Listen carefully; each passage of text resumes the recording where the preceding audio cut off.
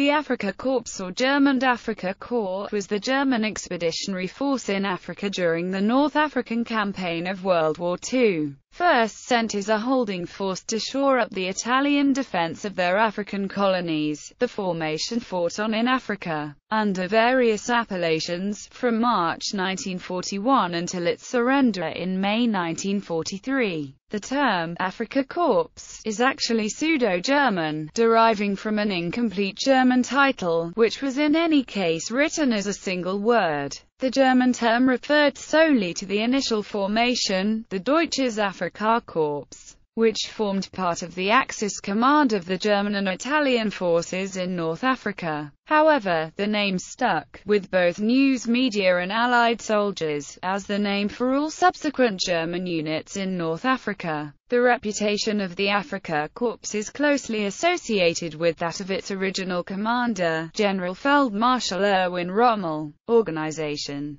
the Afrika Korps formed upon Adolf Hitler's personal orders on the 11th of January 1941 and Erwin Rommel was designated as commander on the 11th of February. Rommel himself landed on African soil in Libya on the 12th of February 1941, ahead of his troops. The German Armed Forces High Command had decided to send a blocking force to Libya to support the Italian army. The Italian Army Group had been routed by the British Commonwealth Western Desert Force in Operation Compass. The German blocking force, commanded by Rommel, at first consisted of a force based only on Panzer Regiment 5, which was put together from the 2nd Regiment of the 3rd Panzer Division plus various small ancillary units such as water treatment and medical care. These elements were organized into the 5th Light Division when they arrived in Africa from the 10th of February the 12th of March 1941. In late April and into May, the 5th Light Division was joined, piecemeal, by various elements of 15th Panzer Division, transferred from Italy though this division was not complete until after Rommel had made a counter-offensive, retaken most of Cyrenaica and then subsequently gone back over to the defensive. At this time, the Africa Corps consisted of the two divisions, plus various smaller supporting units and was officially subordinated to the Italian chain of command in Africa, an organization that Rommel had not troubled for authorization when he initiated his offensive. On 15 August 1941, the German 5th Light Division was redesignated 21st Panzer Division, the higher formation of which was still the Africa Korps.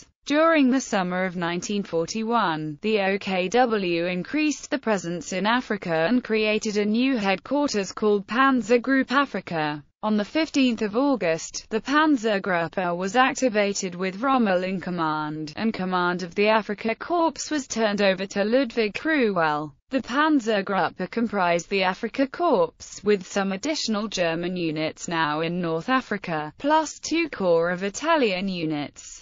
The term Gruppe, in this context, is usually translated as force, with the same flexible, or indeterminate, meaning as the English term. The Panzergruppe was, in turn, redesignated as Panzerarmee Africa on 30 January 1942, after the defeat at El Alamein and the Allied landings in Morocco and Algeria Operation Torch. The OKW once more upgraded the presence in Africa by adding first the 90th Army Corps, under Nehring, in Tunisia on 19 November 1942 then an entire and additional 5th Panzer Army on 8 December, under the command of Colonel General Hans-Jürgen von Arnim. On 23 February 1943, the original Panzer Army Africa, which had since been restyled as the German-Italian Panzer Army, was now redesignated as the Italian First Army and put under the command of Italian General Giovanni Messe. Rommel, meanwhile, was placed in command of a new army group Africa, created to control both the Italian First Army and the 5th Panzer Army. The remnants of the Afrika Corps and other surviving units of the 1st Italian Army retreated into Tunisia. Command of the army group was turned over to von Arnim in March.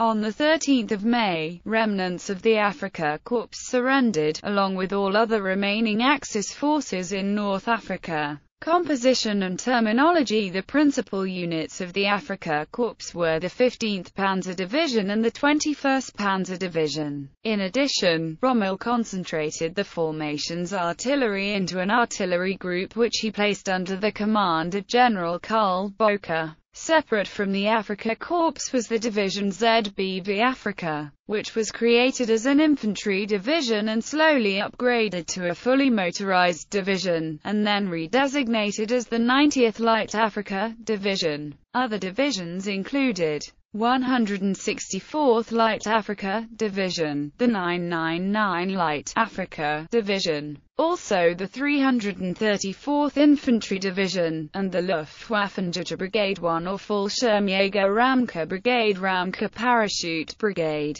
named after its commander Hermann Bernhard Ramcke. When Rommel was promoted to the newly formed Panzer Army Africa, his command included a number of Italian units, including four infantry divisions, two Italian armored divisions, Ariete in Trieste initially remained under Italian control as the Italian 20th Motorized Corps under the command of General Gaston Gambara. German unit organizations were based, as were Allied units, on an establishment or table of organization, Kriegsstärkenachweisungen. Every unit in the German army raised had one, and all orders-raising units indicated the corresponding KSTN number and date which applied to them. For instance, the 5. Lighter Africa, or 5th Light Africa, had an organizational structure that was missing specific elements to make it a complete panzer division as did its late April to May 1941 arriving, full complement, partner division in Africa, the 15. Panzer Division,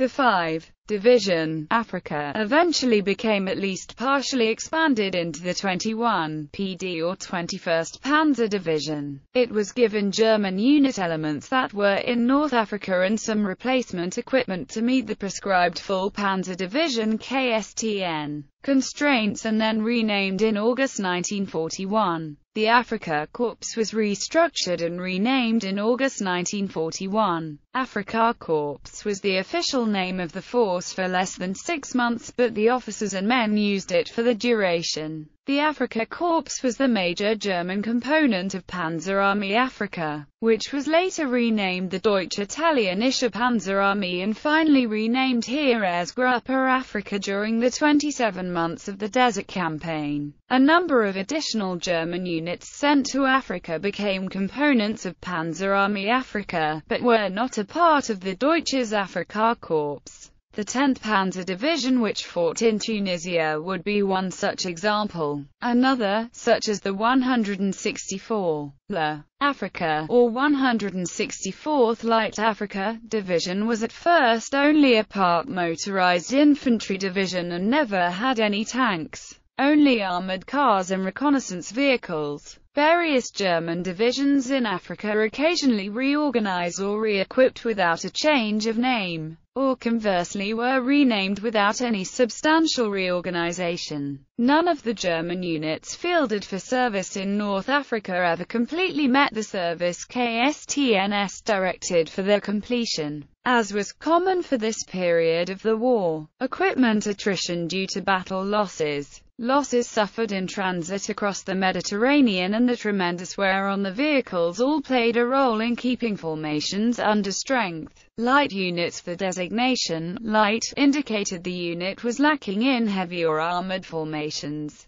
but did not refer to a standardized table of organization and equipment for the various German divisions that bore that designation. For example, 5th Light Division had a single tank regiment, when the standard tank division complement was two, while 90th Light Division was an infantry formation that was motorized but never had a tank regiment as part of its makeup. Ramcke Parachute Brigade The Luftwaffenjäger Brigade 1, known more commonly as the Ramcke Parachute Brigade, was sent to Africa in July 1942 after Operation Hercules, the planned invasion of Malta. Was called off just in time for the Second Battle of El Alamein. Initially subordinate to the 15th Panzer Division it was taken under direct command of the DAK's parent unit, Panzergruppe Afrika. Lacking transport, the brigade had to be abandoned by the German command when their defensive position crumbled. Ramcke lost some 450 men at El Alamein.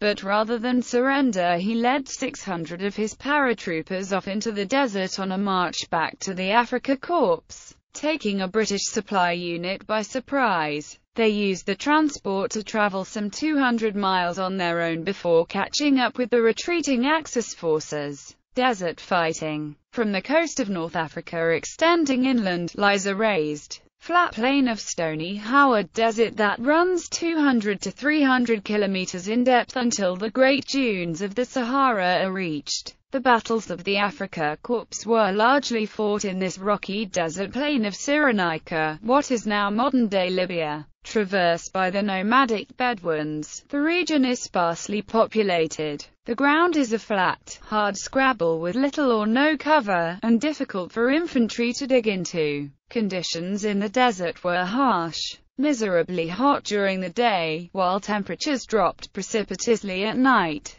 The grey coats of the German soldier were not discarded in Africa, nor were scarves, which were used not only for the cold of the desert night, but for the sandstorms that were frequent and blinding. Sandstorms made flying them possible, and travel by land difficult. The Jibli was the Bedouin name for the sirocco, the hot desert wind of Libya which produced the sandstorms. Navigation was by compass, and each man had one. Even the short trip to the latrine could result in a man being lost if he forgot to take his compass with him when a sandstorm was flying. It was easy to become lost in the desert, and hard to be found again. The sandstorms could last from a few hours to several days at a time. Sand would creep into everything, and was very hard on equipment. Replacement parts were essential. Trucks were fitted with special air and oil filters. Aircraft had heavily modified air intakes fitted. British and American-built trucks were more rugged and durable in the desert than German or Italian vehicles. At times, as much as 85% of the transport in the Africa Corps was British-built. Of course, this meant that spare parts for the trucks the Germans were using were hard to come by. To fight an armored war in the desert, the two essential provisions were fuel and water. Neither of these were readily available. They had to be brought forward to the combat units, and husbanded carefully. Only the Bedouins knew where to dig in the desert for water. Beyond these difficulties, the hardest thing for the men to deal with was the oppressive number of flies. Flies by the score were present everywhere. They could not be escaped. They got into the food stores, making eating difficult. They also carried disease. Illness amongst the Africa Corps was a major issue. Disease, monotonous diet and combat put considerable strain on the troops. Loss of the Africa Corps. According to Rommel's post-war account, the end of the Tunisia campaign and the loss of the army in May 1943 were great blows to Germany and to himself. Most Africa Corps POWs were transported to the United States and held in Camp Shelby in Mississippi and other POW camps until the end of the war. Resurrection of units Certain divisions were resurrected in Europe after the cessation of fighting in Tunisia. 15. Panzer Division 21. Panzer Division Hermann Göring Panzer Division 90th Light Division